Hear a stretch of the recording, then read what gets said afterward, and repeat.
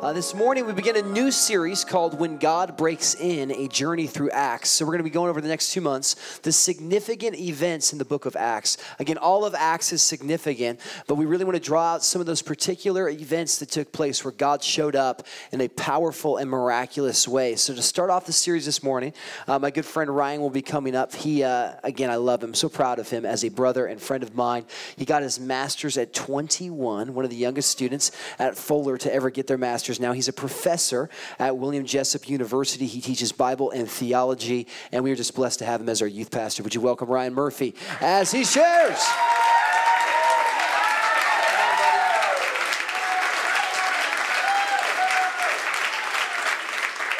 Hey, good morning. It is good to be here. Hey, um, you look so alive. 11 a.m., you've had a chance to wake up. Why don't you just turn to your neighbor and say, You just look so alive this morning. There's something about, I don't know, your face. It's just, it's not dead, it's alive. Hey, well, I want to I want to celebrate something just with you guys as our, as our church family. Uh, this week, Morgan and I had a crazy week. We actually bought a house this week. So there was actually an article floating around the internet that went viral a couple weeks ago about uh, how millennials aren't able to buy houses because they eat too much avocado toast.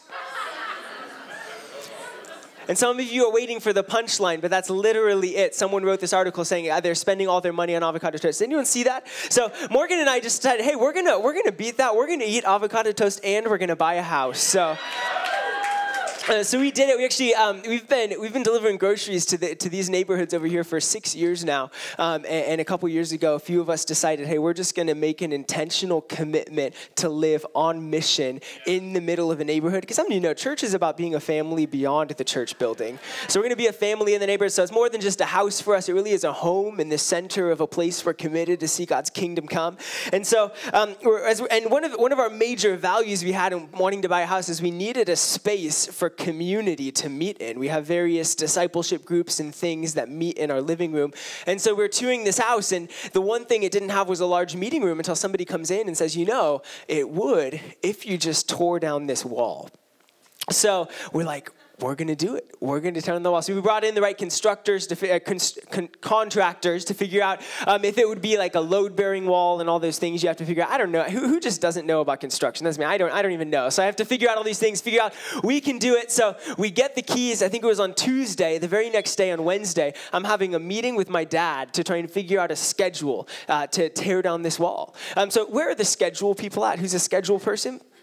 And then who's just a go with the flow? Whatever happens happens person. So so i'm there trying to come up with this schedule and my dad's a go with the flow person. So as i'm talking to him about my availability the weeks i'm able to do this he literally stands up in the middle of while i'm talking takes this uh, takes the drill goes to the cabinets and starts unscrewing them. And as i'm telling him about the hours i'm working this next week he says hold this. It's gonna fall And then about 20 minutes later, our wall looks like this. And then we call some of our community to come over. Four hours later, the wall looks like this. And then the very next day, um, we brought actually a discipleship group over to our house to tear down those beams, and then it looked like this the very next day.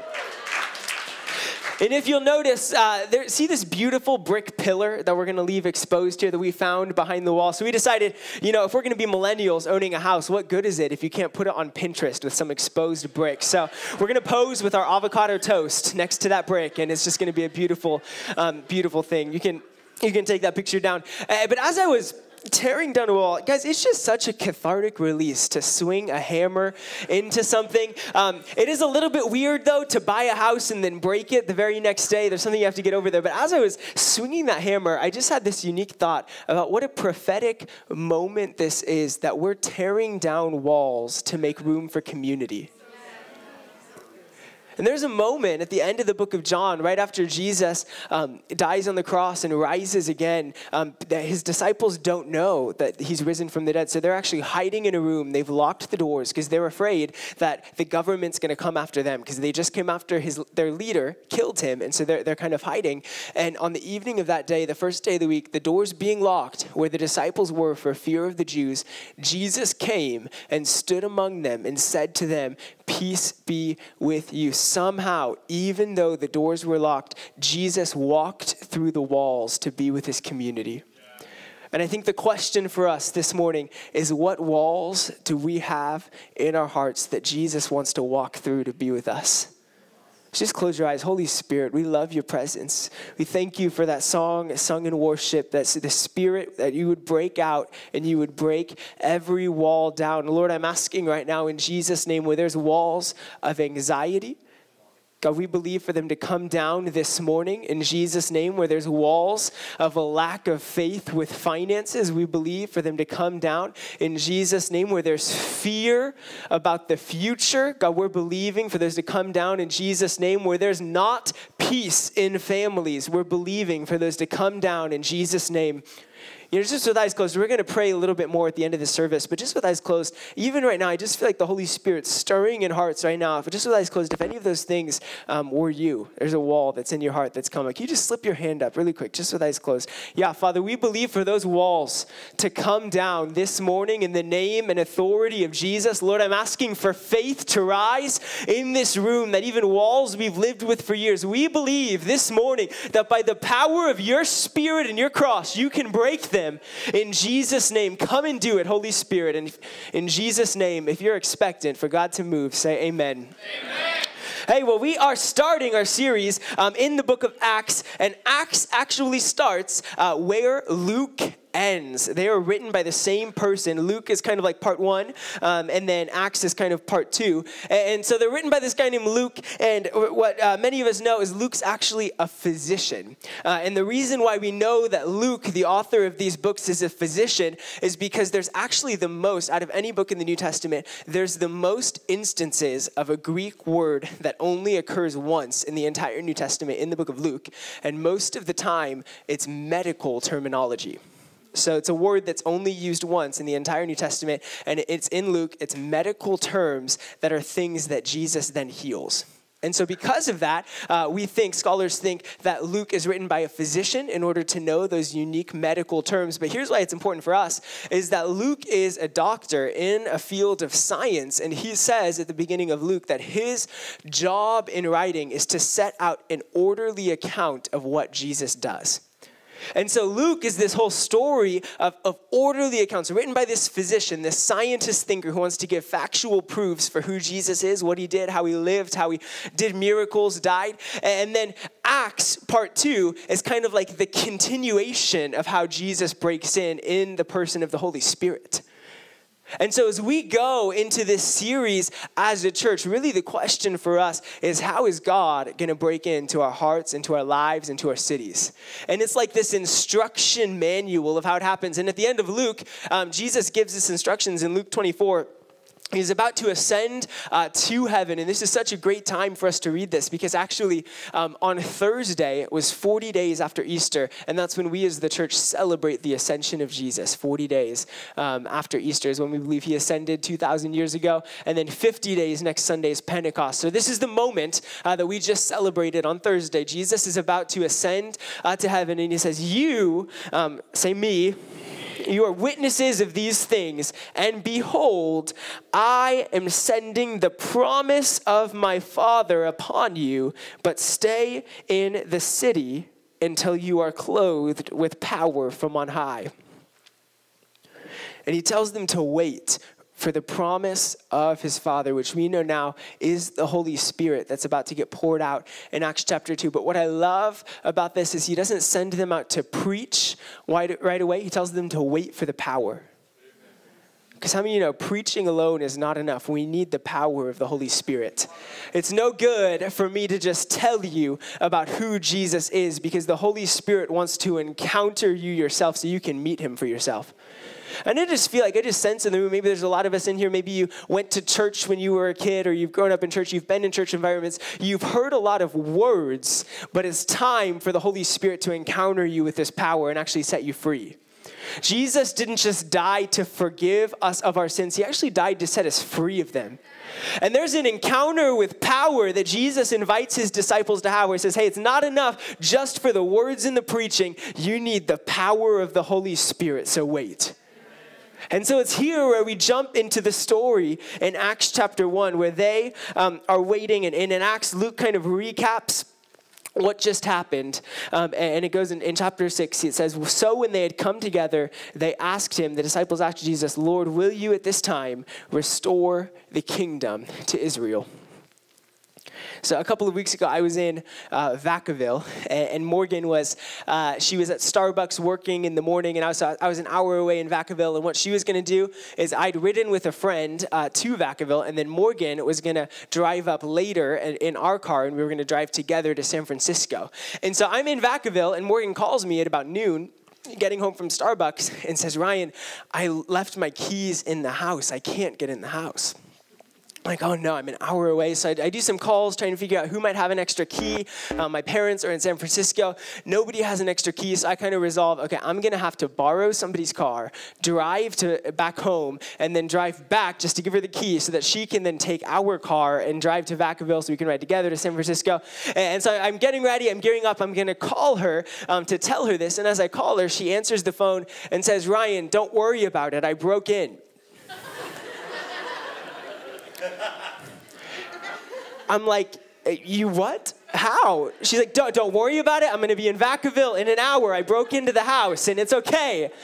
And I'm like, but I put safety, security things in the windows so things like this don't happen. And come to find out, she popped the screen, the security thing, for whatever reason, wasn't in there. She slid the window in and she broke and entered into our house. So, um, you know, she's actually up for hire now if you need someone to break and enter for you. Um, she's very good at it. But God wants to break in to our hearts, and oftentimes we put our own disguises up of security, but God knows just how to get in to encounter our hearts. And a lot of times we put up our own walls of security and defense and fear and anxiety and all these things. But God is so good at doing what we least expect and coming in in a way we least expect it. And this is actually what happens here is he is he's breaking in, his kingdom is breaking in. This is a, a unique point in human history. And they think he's gonna come with a political power which is very appropriate. It's what they thought the prophecies were pointing to. All the things that they'd read in the Old Testament pointed to this Messiah figure who would lead the nation of Israel in a political way. And even, especially the book of Daniel talks a lot about this, which was a common book that would have been read um, in this time. And so they say, hey, you said you're the Messiah. You rose from the dead. You proved it. Is this it? Is this the time that you're going to be the political savior?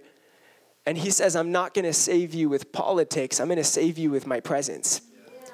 And it's not in the power of politics, it's actually in the power of my presence. He kind of dismisses it. He says, It's not for you to know the times or seasons that the Father is fixed by his own authority. And then in verse 8, he says, But you will be my witnesses when the Holy Spirit comes upon you. And we have, I think, Acts 1 8 to put up on the screen, but you will be my witnesses when the Holy Spirit comes upon you. Here's what I love Jesus flips it on them.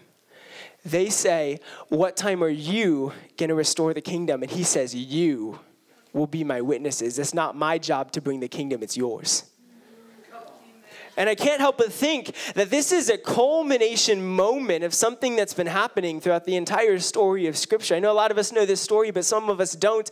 In Genesis chapter 1, God creates heavens and earth and He creates humanity, and He actually gives them some authority. He says, Go and rule over the earth. In Genesis 1:27, humanity is designed to rule and have authority. But then in Genesis chapter 3, something uh, sad happens, and the serpent comes. How many of you know the story, right? The serpent comes and says to Eve, Eat the fruit. And Eve, who has authority given by God, says yes to the serpent rather than to God. And authority happens when you choose to obey somebody. So, what Eve actually does is she gives authority to the serpent that God had given to her because she says yes to the serpent. And that's why in the New Testament, there's lots of verses about, and the serpent represents Satan. And there's lots of verses in the New Testament in First John about how the whole world lies in the power of the evil one. Um, the New Testament often calls Satan the prince of the power of the air because there's an authority that was released on that day. And on that day, all of a sudden, everything that was right in the Garden of Eden becomes wrong And there's an introduction of these things, which ever since then we as humanity have been wrestling with. Number one is sin, um, where, where we don't do what God wants us to do. The very first sin that was committed on that day. Number two is sickness. How many of you know that God's design for us is not to live sick? God never authored sickness. He didn't design sickness. In the Garden of Eden, there's no sickness, there's no death, but all of a sudden on this day, now they're going to die. There's this introduction. And then number three is Satan, where how many, and I know this sounds weird for some of our American Western thinking, um, but there's, there's real demonic forces at work on earth. And, and for some of us, we might not directly see it, but how many of you know that there's anxiety that can try and come on people, depression, fear, suicide? Suicidal thoughts. And I know there's real clinical diagnoses of these things, but sometimes it just feels like, what the heck? Where did that come from? That's not me. Um, that's the enemy. We believe at the Rock of Roseville, that is the enemy who's coming against you with these things. God did not design anxiety, depression, suicidal thoughts. It has to come from somewhere. And so there's this introduction of these things sin, sickness, Satan. And then all of a sudden, the rest of the Old Testament is about how humanity is wrestling with these different things. But there's these glimmers of hope of a different kingdom of how God designed his will to operate. There's Joseph who rules with righteousness and authority in the midst of chaos. There's David who comes and rules again with righteousness, justice. And what I love about David is he doesn't just rule out of a place of political power, he rules out of a place of presence we have Psalms of David resting in the presence of the Lord. Then there's the prophets who come and say, hey, your job, humanity, is to follow God, not to follow all these other voices that are speaking to you. And then when Jesus comes on the scene, he says something so significant in Mark chapter 1. And Mark was actually the very first gospel that was ever written. Um, and this is the very, these are the very first words of Jesus in the first gospel that was ever written. It's very significant. Mark writes that after John, talking about John the Baptist, was arrested, Jesus came into Galilee proclaiming the gospel of God. And this word gospel uh, was actually, it's not a word that the church invented. It's a Greek word that means good news. And it was a Roman word that the emperor would use when he would send messages that represented him. So when someone would come into a town, a messenger of the king would come into a town, they'd say, hey, this is the gospel of Caesar. This is the good news of Caesar. So when Jesus comes and says this is the gospel of God, he's actually saying there's a new king in town and where you've been experiencing a kingdom of sin, sickness, and Satan, I've come to bring a kingdom of forgiveness, fullness of healing, and freedom. And that's what he says. He says, The time is fulfilled. The kingdom of God is at hand. What is he talking about? He's talking about heaven, this place where once and for all sin is obliterated, sickness is obliterated, Satan is obliterated. And he says, and we can show that slide, he's come and he lives a life bringing forgiveness, fullness of healing, and freedom. Forgiveness, fullness of healing, and freedom. I'm waiting for the slide just for that dramatic effect here. Forgiveness. Full, come on there. Isn't that? I, I just spent so much time coming with this alliteration. It's kind of so. And so Jesus actually lives this life almost like with one foot in heaven, where there's access to forgiveness, fullness of healing, and freedom. And he spends his entire life releasing it on earth. And every person he encounters actually encounters what's going on in heaven because Jesus is the place where heaven invades earth. And Luke tells this story about heaven um, all the way throughout. Where in Luke chapter 3, at the moment when Jesus is baptized, it actually says that the heavens were opened. What does that mean? It means uh, the Greek word talks about how it's being torn in two as if it's never going to come together again, as if heaven once and for all has invaded earth in the person of Jesus. And the things that are in heaven, forgiveness, fullness of healing, freedom, are all of a sudden released once and for all on earth. And then Luke goes on and, and, Jesus at one point sends his disciples out. He sends them to proclaim the kingdom of God and to heal the sick. Why? Because in heaven there's healing. So when we're proclaiming the kingdom of God, we get to bring the things of heaven and release them on earth. And that's how he sends them out. In Luke chapter 10, he does the same exact thing. He sends his disciples out and says, Heal the sick who are in the towns you go to and tell them the kingdom of God has come near to you. Why? Because heaven heaven isn't just a place we go to when we die, it's actually a place that we get to release here. And I feel like as we go through this story, what's actually happening is our thinking is changing about heaven, where some of us have thought it's just this destination we have when we go to die, but actually it's the destiny of earth earth, uh, heaven and earth are supposed to become one. Ephesians 1 even talks about how in Christ, heaven and earth are united. And Luke 11, G, uh, Luke keeps going. Luke 11, Jesus tells his disciples to pray, Father, hallowed be your name, your kingdom come. He expects his disciples to live a daily life of seeking God's kingdom of heaven. And then in Luke 22, he actually says to his disciples, uh, Jesus says, I confer on you a kingdom as my Father has conferred upon me. And it went from him preaching the kingdom and releasing the kingdom to sending his disciples to do the same thing to he him actually giving them the kingdom to release for themselves. And here's the fullness of it. Here's the fullness of it actually happens. And we're going to learn about it more in Acts chapter 2 next week. But Jesus is the place where heaven invades earth because he's the king of heaven come to walk on earth. How many of you understand that? He's the king of heaven come to walk on earth. And then he actually tells his disciples, hey, it's actually better that I go away because I'm going to send the Holy Spirit to you. And then in Acts chapter 2, the Spirit of Jesus comes to live inside of his people. What does that mean? That means that you are now the place where heaven invades earth because the king, the spirit of the king of heaven actually lives on the inside of us if we've said yes to Jesus. What does that mean? That means you've been given a giant key which opens the door into heaven where there's forgiveness, fullness of healing, and freedom. That means that heaven isn't just a place we are going to, but every time we encounter one of those problems sin, sickness, and Satan God's actually released the authority to us to see heaven invade and blow those things out of the way.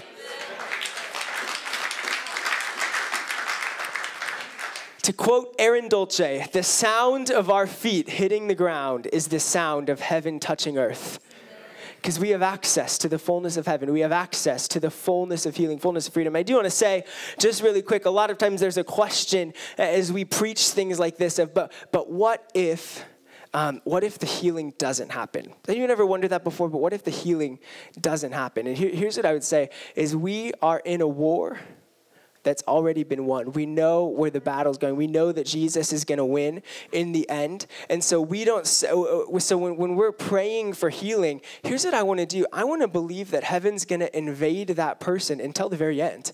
And if it doesn't happen on this side of heaven, guess what? They get to enter into the kingdom of heaven as a victorious warrior who died in battle, not as a defeated warrior. Does that make sense? And so here's our call. Our call is not to give up and be defeated. Our call is to fight until the very end and say, God's kingdom is going to come in power wherever I go, because I believe in the fullness of Jesus' death, resurrection, and pouring out of the Holy Spirit. And so this is what he says to them. He says, so they say, Well, are you going to restore the kingdom? And he says, No, you are going to restore the kingdom. You are my witnesses in Jerusalem and all Judea and Samaria and to the ends of the earth. So he says, You are my witnesses. What does that mean? That means what they've seen in Jesus, they get to show the world. And guess what? We have the same commission today. What we've seen in Jesus, we get to show the world. We're his witnesses. When we've seen love, we get to show love. When we've seen peace, we get to show peace in the midst of extreme anxiety. Where we've seen healing, we get to show healing. Morgan and I had a great opportunity to go. Um, go to Italy a couple I feel like I'm just sharing brag stories, but like I mean, we, we have some sad things happen too. We we fight sometimes, but um, we did also go to Italy a couple weeks ago. Um, has anyone ever been to Italy before? It is um, a great, great um, food. I mean, country. There's a beautiful thing about Italy is that it is totally socially appropriate to eat pasta and pizza in the same meal. And where in America people would look at you and say, "Why aren't you doing Weight Watchers?" In Italy they say, "Amore, amore." It's just a beautiful thing. So in gelato, okay, I'm getting so distracted. So we're in Italy. Eating lasagna, and there's this table next to us, um, these two girls. And, and, if Tracy or Amir wants to come to the keys, that would be awesome. So uh, we're, we're, in Italy, we're eating lasagna, and, and, this table next to us, there's these two girls, um, and they pull out tarot cards. How many of you know what tarot cards are? You know what tarot cards are? So, um, tarot cards, it, it's a way of fortune telling. Um, and, and, at The Rock, we believe that um, the source uh, of tarot cards and fortune telling is actually a demonic source. Um, but I also want to say if, if, you're in the room and you've dabbled in that sort of thing, we, we, we, we bless you and forgive you. We're not here to condemn, we'd love to pray for you. But, but we believe the source of these things is, is demonic. It's a demonic way to, to tell fortunes. And so, how many of you know when you have the kingdom of light on the inside of you and that kingdom of darkness shows up, there's something that rises up on the inside of you, and it's like, it's not okay. It's not okay. So, I'm watching this happen. I'm like, this is not okay. And then somebody at the next table next to us even goes over to them and says, Can you do my fortune too? The waiter comes over. I'm like, this, this is not okay. So I did um, what you would probably do, and I went to the bathroom because I needed a moment just to pray and be alone with God. And how many of you know sometimes your greatest revelations It's going to stop right there. So I'm in the bathroom. It's come, Holy Spirit, in Italy, in Rome. Come, Holy Spirit. What do you want me to do? And I get an idea that I believe is from the, from the Lord. And, and it, so, I, so, I, so I go back up. And it's a little bit awkward in Europe because the tables are super close together. So I can't really explain to Morgan what I'm going to do. So I just tell her, I'm like, follow my lead. And so they're doing the tarot card reading, and, and I lean over and through the interpreter, I say, and through the, the, one who speaks English of the two, I say, hey, you know, my name's Ryan. I, I'm actually a, a Christian pastor from America, and part of my job as a Christian pastor is to give Christian spiritual readings to people. Would you like one? And she says, Oh, yes. And so we believe at The Rock, we believe in a gift of prophecy, a gift of hearing God's voice to speak encouragement to people. It's a, and so, so I, so I start to, so I look at the one girl that I kind of felt like the Lord was speaking to me about. And I said, Hey, I feel like um, you're called to business and you feel um, really, really ambitious. And I feel like God said He made you that way. He made you to be successful in business. And I told her some other things. And then I said, I also feel like um, your dad isn't really close to you right now. I feel like if he was, he would tell you how proud of you he is. But because he's not close to you, he can't. But I'm here to tell you that you have a father in heaven that loves you and is proud of you. And heaven called her right in that moment. I'm just kidding.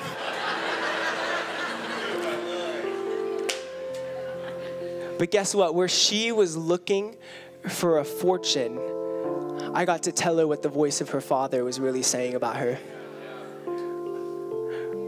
Where I'd seen the voice of my father, I got to show her the voice of my father. And that's the calling that's on all of our lives. So let's just close our eyes right now. There's a presence Lord's here. We're going to take communion right here because Jesus says that He says, You are my witnesses. He says, You are my witnesses. And you know, the biggest thing that we've witnessed as the people of God is we've witnessed in our lives Jesus dying and rising again for us. And it's the greatest sign, it's the greatest wonder. So, just with eyes closed, we just feel prophetically this morning like Jesus wants to come and walk through our walls so he can be with us. So, we can be his witnesses, so nothing can stand in the way of us and him. You know, um, we're going to talk more next week about Acts chapter 2, but this is like the preparation week as we're preparing our hearts to get ready. Um, you know, when, when Jesus sent the Holy Spirit um, for us, Jesus sent his Spirit. Jesus, in that moment, died for us rose again, sent himself to live on the inside of us. What does that mean? That means we never have to be separate from Jesus ever again. And every wall we've put up is actually our own construction. So as the ushers pass the elements, we're just going to remember what Jesus has done for us on the cross. So just feel free to pass the elements. And if you feel someone tap you, because I know your eyes are closed, just that's, that's probably communion. So you can grab the cracker, grab the juice.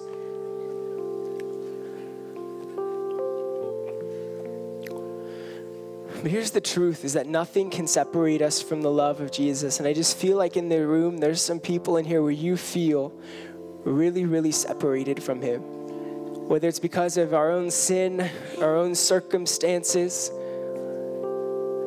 Jesus wants to come near to us tonight and I, or this morning. I also feel like some of us in here, maybe we've been walking with Jesus for a long time, but we've let some walls come up. Maybe a lack of faith related to finances, maybe um, a lack of trust related to our situation. Here's what we're going to ask as a community this morning is we're going to say, Jesus, what wall in my heart do you want to walk through this morning to be with me? So I'm going to leave a space, just a moment here for quiet reflection. Um, for some of you, this might be the first moment of quiet you've had all week. We're just going to be quiet in the presence of the Lord. We're going to say, Jesus, what's the wall that you want to walk through this morning to be with me?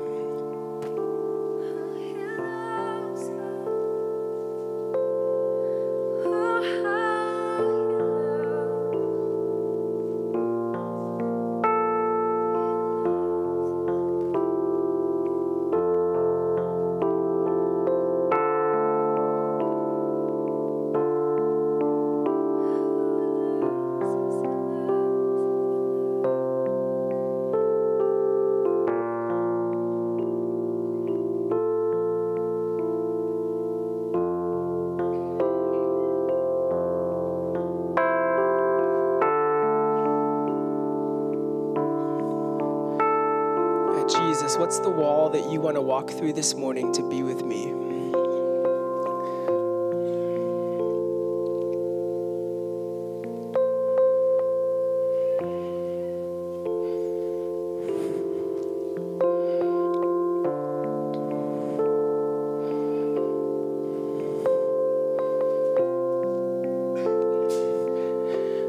I just really feel like that Jesus really did. He knocked down every wall in order to be with us. Sin can't separate us from Him. Sickness can't separate us from Him anymore. Satan can't separate us from Him anymore. He destroyed those things on the cross. He rose again as a sign to prove it. And then He sent His Spirit to live in us so we never have to be separate again. Every wall is just our own construction. So, just with eyes closed, just eyes closed, can you slip your hand up really quick if you feel like the Lord identified a wall that's in your heart or you, you kind of identified a wall?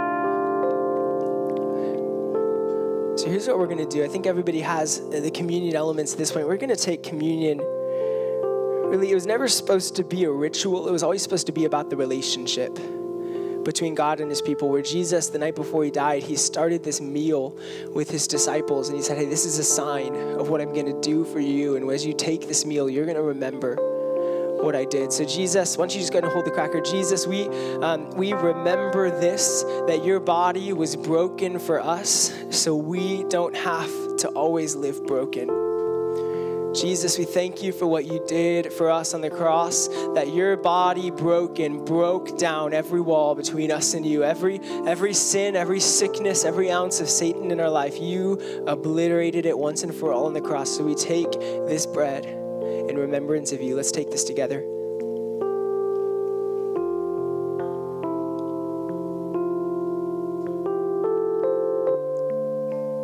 Let's just hold up the juice. Jesus, we thank you for your blood, which was shed for us. Thank you for the greatest sign and wonder in human history is that you shed your blood for us, but then rose from the dead. God, God, we drink this in remembrance of who you are and the freedom that we get to walk in because of you. We drink this in remembrance of you.